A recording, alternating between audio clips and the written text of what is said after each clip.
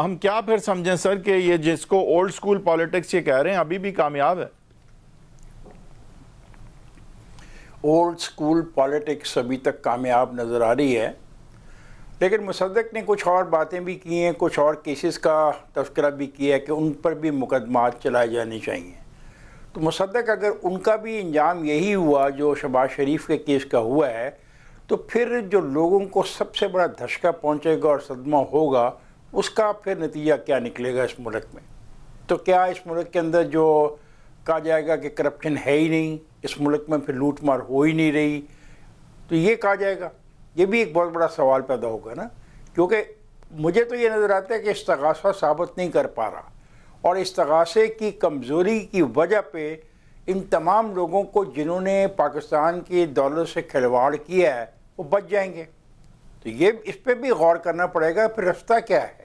پھر طریقہ کار کیا اپنایا جائے؟ یہ تو نہیں مانا جا سکتا نا تو یہ بتائیں اس کا نتیجتاً آپ اس طرف اشارہ کر رہے ہیں کہ پاکستانی عوام پھر کیا آپ کے خیال سے احتساب کے عمل میں مایوس ہو جائے گی کہ بھائی یہ لوگ تو پکڑے ہی نہیں جا سکتے؟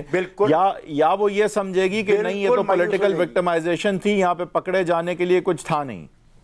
اٹس دا فارمر آپ کہہ رہے ہیں۔ نہیں ایسا نہیں ایسا نہیں ہوگا۔ مایوسی ہوگی۔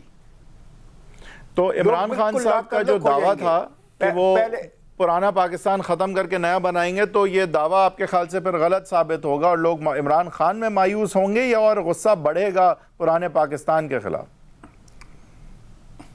اس میں دونوں چیزیں ہو سکتی ہیں۔ ایک یہ چیز ہو سکتی ہے کہ لوگ بالکل ہی لا تعلق ہو جائیں جیسے کہ سو ووٹر میں سے پینتالیس لوگ ووٹ ڈالنے آتے ہیں پچپن پہلے ہی نہیں آتے۔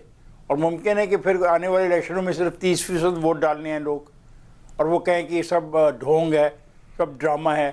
لیکن ایک بات کی شاباش دینی چاہیے عمران خان کو کہ اس نے اپنا سلوگن جو ہے بہت خوبصورت انداز میں فروخت کیا ہے۔